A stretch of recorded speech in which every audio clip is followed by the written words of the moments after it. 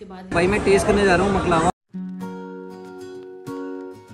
Hey guys welcome back to the new episode of this vlog आज का vlog बहुत ज़्यादा स्पेशल है क्योंकि मैं जा रहा हूँ देहरादून से दिल्ली और दिल्ली से जाऊँगा अहमदाबाद। दिल्ली में मेरे दीदी और जीजाजी रहते हैं तो उनके यहाँ एक दिन का स्टे करने के बाद मैं निकलूँगा एयरपोर्ट एयरपोर्ट से फ़्लाइट पकड़ के सीधा अहमदाबाद।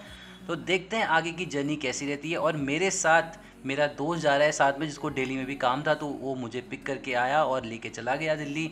तो जब भी होता है काम तो दोस्तों की याद हमेशा आनी चाहिए।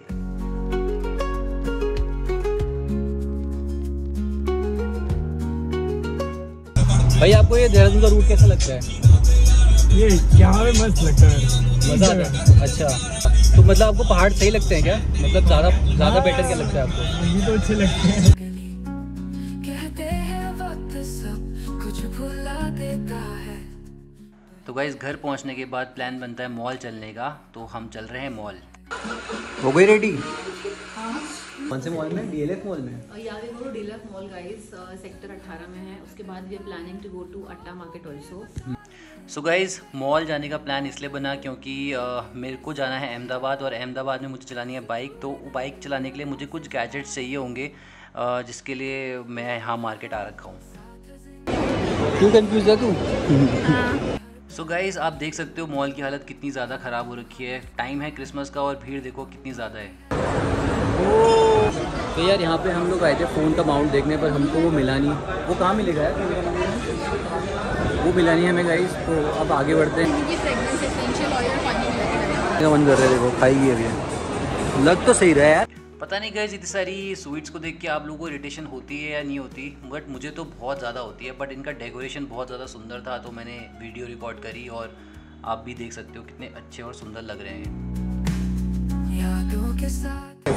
तो भाई मैं टेस्ट करने जा रहा हूँ मकलावा। आवाज़ आएगी।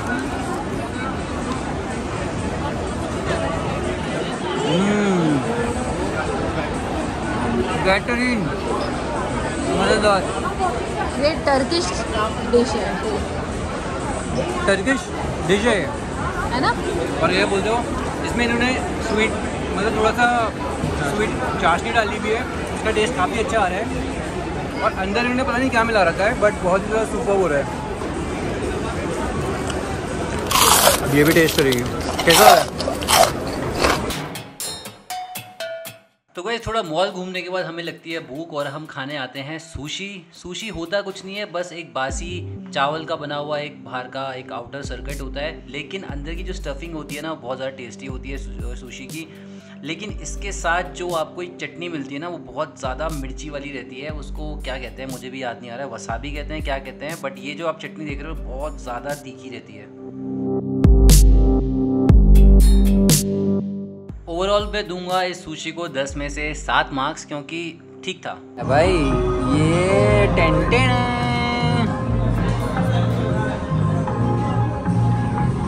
ये देखो चार मोमो आए हैं स्पेशली बास्केट में। पाव पाव पाव पाव अच्छा। पाव? पाव B B for ball B for ball भाई अब हम पाव टेस्ट करेंगे यार। इसका इसके चीथड़े किए जा रहे हैं। तो ऐसे ही खा लेना। और हमारी छोटी सी ब्लॉगर कर कर डाल मुँह में। यम। तो दोस्तों एक्सप्रेशन देख के आपको समझ आ गया होगा। चमकते सितारे ख्वाबों का चल यहाँ सेक्टर अठारह का अट्टा मार्केट जो कि बहुत ज़्यादा क्राउडेड है।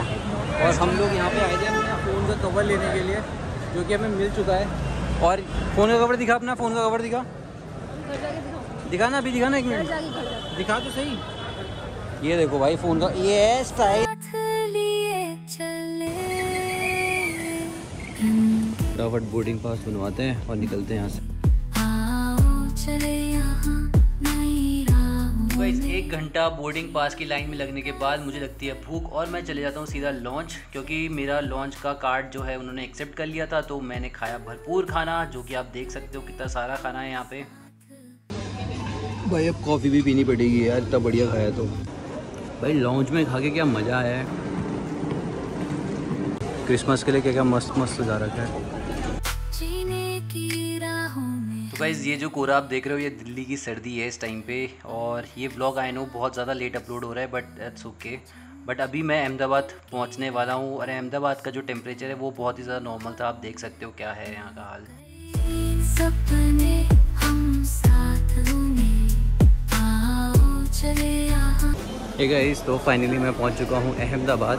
अहमदाबाद बोले तो सरदार वल्लभ भाई पटेल का जो इंटरनेशनल एयरपोर्ट है जो एक्चुअल नाम है वही है। और ये मेन लोकेशन है हंसोला।